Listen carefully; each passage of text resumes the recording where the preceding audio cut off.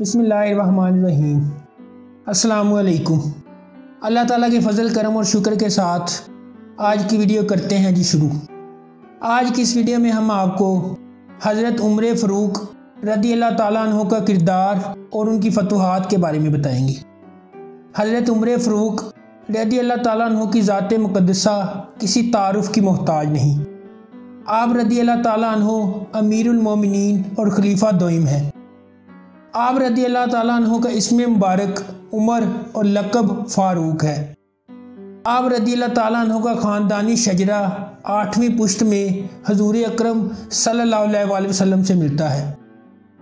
آپ کے والد کا نام خطاب اور والدہ کا نام اتمہ ہے۔ آپ رضی اللہ تعالیٰ عنہ خلیفہ اول حضرت ابو بکر صدیق رضی اللہ تعالیٰ عنہ کے بعد پوری امت میں سب سے افضل ہیں۔ آپ رضی اللہ تعالیٰ عنہ عمر میں تقریباً گیارہ سال نبی کریم صلی اللہ علیہ وآلہ وسلم سے چھوٹے ہیں۔ آپ رضی اللہ تعالیٰ عنہ نبی کریم صلی اللہ علیہ وآلہ وسلم کے نہایت قریبی ساتھی ہیں۔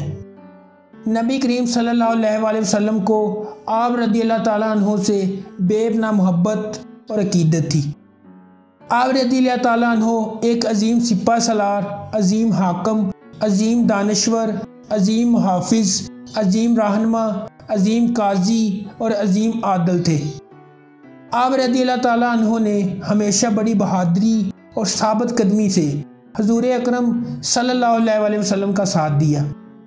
نبی کریم صلی اللہ علیہ وآلہ وسلم نے حضرت عمر رضی اللہ تعالیٰ عنہ کو کئی مواقع پر فوج کا سپہ سلام مقرر کیا تھا اور دشمن پر آپ رضی اللہ تعالیٰ عنہ کی ایسی داغ بیٹھی تھی کہ وہ میدان جنگ سے بھاگ جاتے تھے۔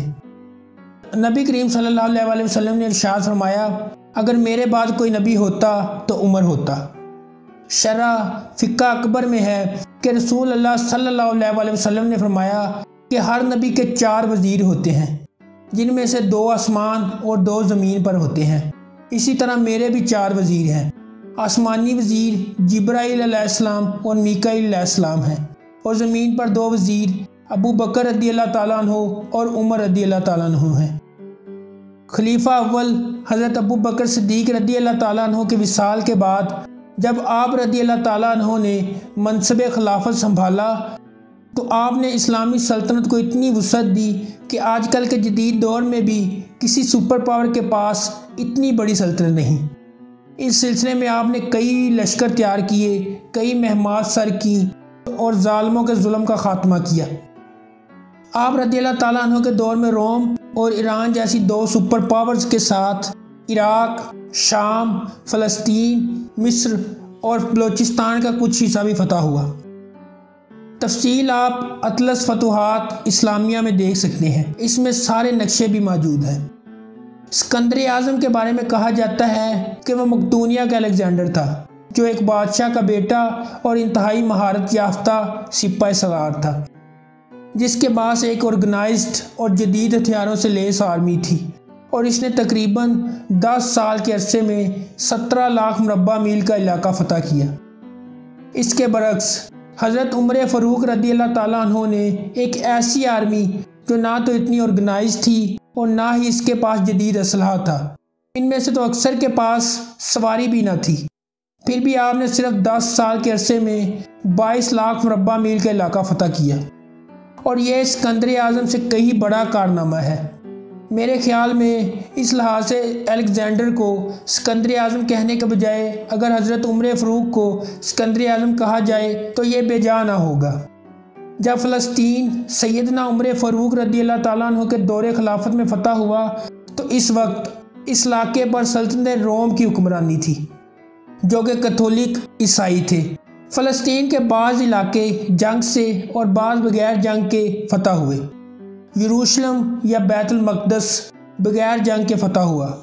یہاں کے پادریوں نے درخواست کی کہ اگر مسلمانوں کے خلیفہ خود آ جائیں تو ہم بغیر کسی جنگ کے شہر مسلمانوں کے حوالے کرنے کو تیار ہیں۔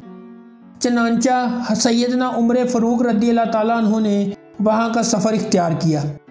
آپ رضی اللہ تعالیٰ عنہ کے ہمراہ ایک اونٹ اور آپ رضی اللہ تعالیٰ عنہ کا ایک غلام تھا۔ راستہ میں آپ رضی اللہ تعالیٰ عنہ نے اپنے اور غلام کے درمیان مساوات قائم رکھی اور کچھ فاصلہ تک آپ رضی اللہ تعالیٰ عنہ اونٹ پر سوار ہوتے اور کچھ فاصلہ تک غلام۔ اتفاق سے بیت المقدس پہنچنے پر غلام کی باری تھی اور آپ مہار تھامے پیدل چل رہے تھے۔ حضرت ابو عبیدہ بن جرہ رضی اللہ تعالیٰ عنہ کو جب آپ رضی اللہ تعالیٰ عنہ کے آنے کی اطلاع ملی تو وہ استقبال کریے شہر سے باہر آ گئے۔ لیکن آپ رضی اللہ تعالیٰ عنہ کو اس حال میں دے کر عرض کیا، اے امیر المومنین، رضی اللہ تعالیٰ عنہ، عمائد دین شہر ان قریب آپ رضی اللہ تعالیٰ عنہ سے ملنے اور استقبال کرنے آ رہے ہیں۔ اچھا نہیں معلوم ہوتا کہ وہ لوگ اس حال میں دیکھیں۔ آپ رضی اللہ تعالیٰ عنہ نے فرمایا، ہماری عزت اور ہماری بزرگی صرف یہی ہے کہ ہم مسلمان ہیں۔ ہم کو اللہ تعالیٰ نے اسلام کی عزت بخشی ہے۔ ہم کو دنیاوی عزت کی ضرورت نہیں۔ میں شہر میں یوں ہی داخل ہوں گا۔ پھر آپ نے عیسائیوں کو مکمل مذہبی آزادی دیتے ہوئے شہر کو اسلامی سلطنت کا حصہ بنایا۔ یہ اسلامی تاریخ کا ایک روشن باب ہے، جس کی مثال دنیا تاریخ میں نہیں ملتی۔ اس طرح حضرت عمر فاروق نے صرف دس سال کے قلیل عرصے میں اسلامی سلطنت کو ایک عظیم وسعت دی۔ اگر آپ کو ہماری یہ ویڈیو پسند آئی ہے تو اسے لائک کریں، شیئر کریں اور ہمارے چینل کو سبسکرائب کرنا مت بھولیں۔ شکریہ۔